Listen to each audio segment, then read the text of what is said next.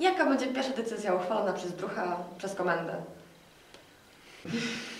Jest już taki Taką, plan, e, decyzji? nie będę mówił o formie rozkazu oczywiście, natomiast e, na pewno chciałbym się w tym tygodniu jeszcze spotkać z pracownikami e, chorągwi, ponieważ od samego początku po, z podniesioną przyłbicą pewne zadania realizuję i pewne rozmowy z ludźmi, którzy pracują bezpośrednio w tej chorągwi, bo oprócz tego, że zostałem wodzem harcerzy i instruktorów, także zostałem szefem ludzi, którzy pracują na Stefanowskiego 19.